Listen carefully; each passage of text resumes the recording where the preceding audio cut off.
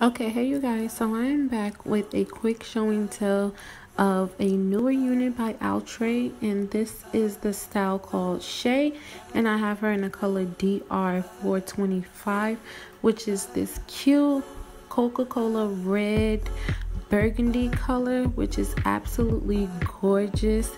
It is very very fall ready. I absolutely love this color in this clip, I'm showing you how full and curly the back of the unit is. This is a very pretty unit and in the next clip, I will be showing you the stock card. The unit looks way better in person than it does on the stock card.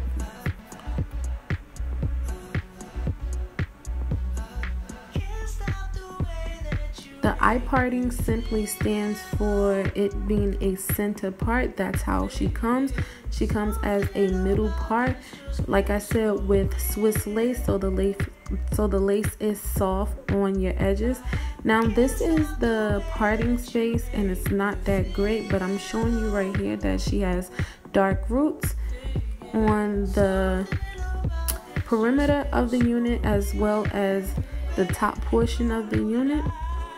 I'm just showing you different ways of how you can rock this wig.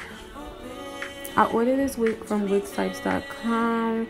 If I had to rate this wig, I would give it a 6 out of 10. I would not repurchase this wig because, you know, it's just not what I expected it to be.